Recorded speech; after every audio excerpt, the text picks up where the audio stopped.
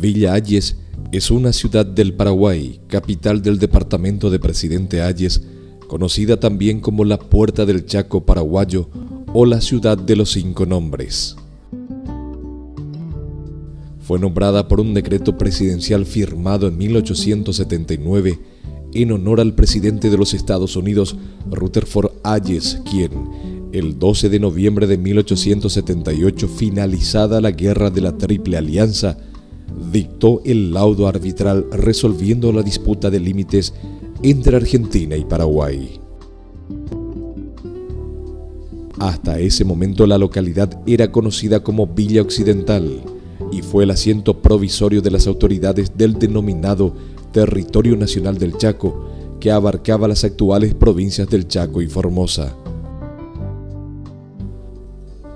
A partir de este suceso, Argentina debió trasladar la Villa Occidental y buscar una nueva sede para estas funciones, tarea que le fue encomendada al secretario de la Gobernación del Chaco, coronel Luis Jorge Fontana, quien eligió en la actual ciudad de Formosa el sitio para la futura capital.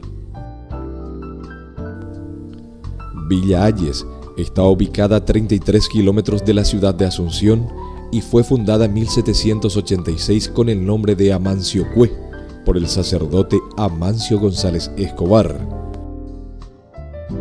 Luego se llamó Reducción Melodía en homenaje al gobernador Pedro Melo de Portugal y Villegas, representante de la corona española, pero al poco tiempo recuperó su nombre anterior.